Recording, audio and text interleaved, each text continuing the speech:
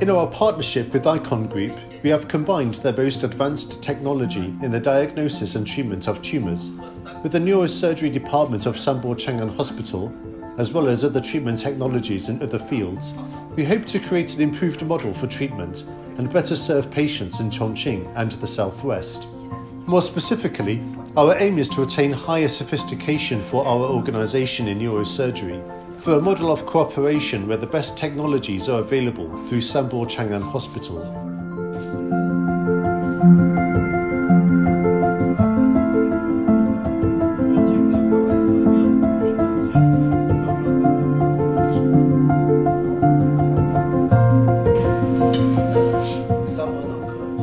The neurosurgery department of Sanbo Chang'an Hospital is highly respected, especially in the treatment of brain tumours.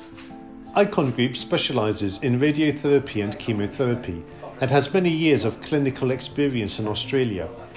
So, introducing a treatment model regarded as the most advanced worldwide into Chongqing and having it installed for use is something we regard as extremely important.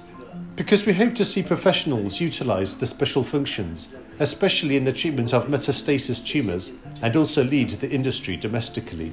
Furthermore, it is key that we put this swiftly into clinical practice and be the first to use this technology nationwide.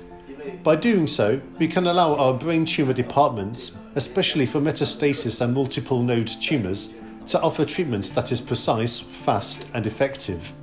We hope that by using this advanced technology in clinical practice, it will become an exemplary model nationwide, so that our machine can become more widely available in a short time allowing it to be put to use nationally, thus raising the overall level of technical sophistication.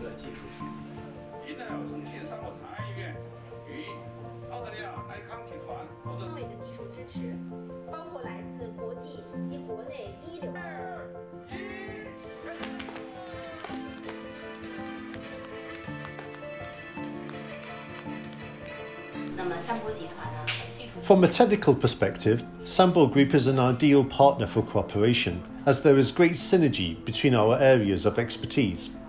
And as Professor Wang pointed out, our equipment offers clear advantages in their treatment of tumours. We can precisely target multiple tumours simultaneously, which can reduce treatments that normally takes an hour down to only five minutes, which also reduces the level of trauma experienced by patients, as well as increasing effectiveness. Chongqing is a densely populated city in our country, so there is a heavy burden in this respect. Radiotherapy is used on 70% of patients in developed countries, but only 20 to 30% of patients in China have access to this form of treatment. Apart from the fact this technology is not well understood here, the lack of such equipment is one of the main reasons.